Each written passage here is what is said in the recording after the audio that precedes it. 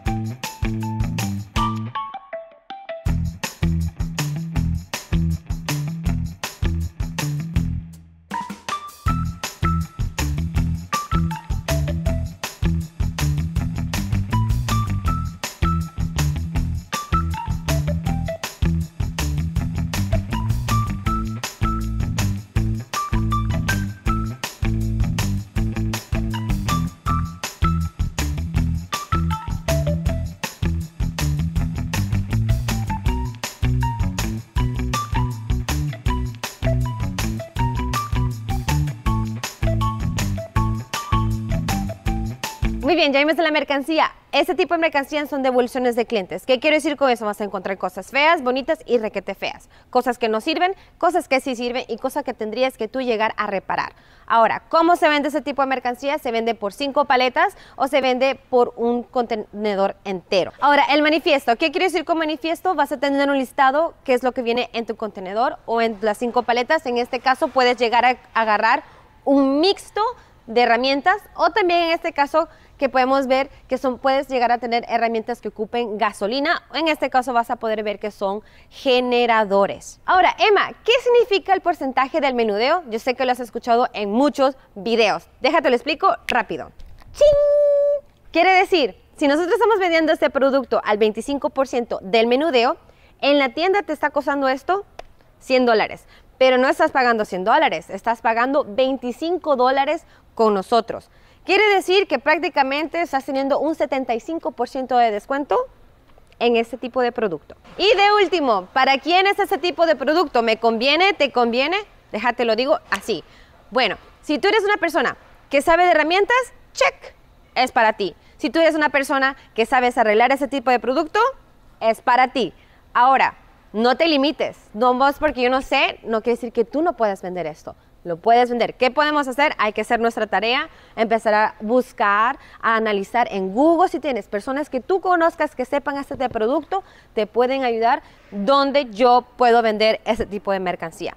Bueno, si tú tienes una tienda, fácilmente lo puedes poner ahí. Recuerda hacer tu investigación, qué producto o qué partes pueden valer más. Segundo, si tienes un puesto en el Yarcel o en el Swami, perfecto, te da posibilidad de venir otros clientes que vengan a tu puesto Tercero, si tienes eh, una bodega, lo puedes vender así en paletas como nosotros estamos vendiendo.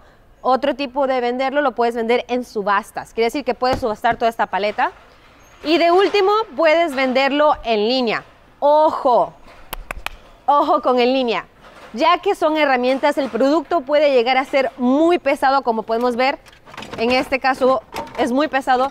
Así que te recomiendo que lo hagas como lo pones en línea y que la persona venga a tu local o a donde ustedes desean para que ellos puedan recoger la mercancía y ahí sí te ahorras unos cuantos centavitos, amigo.